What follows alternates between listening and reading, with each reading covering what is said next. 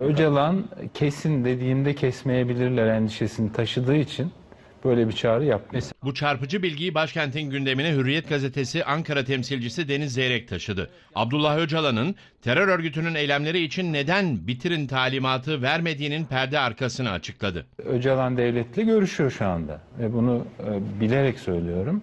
Devlet heyetine son yapılan görüşmelerde söylediği şey ben e, bunlara durun desem de durmazlar. Liderliğimi, otoritemi tartıştırmam. O nedenle benden böyle bir ça- çağrı beklemeyin.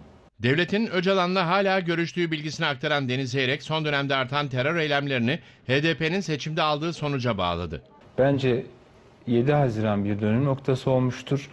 Kandil'de, Öcalan'da gücünü yasal, legal, sivil siyasete kaptırmıştır ve şu anda o gücü geri almak için cansiperane mücadele ediyorlar. Çözüm sürecinin geldiği noktada yaşananlarla ilgili de önemli bir tespit yaptı.